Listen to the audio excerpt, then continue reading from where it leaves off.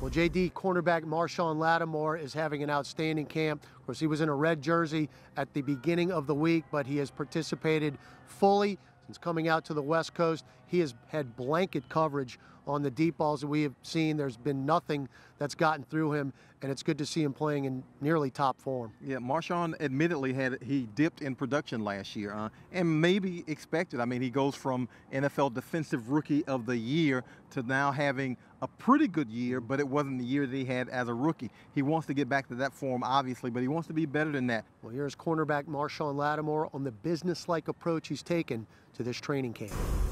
You know, this year, like last year, you know, start off slow, okay.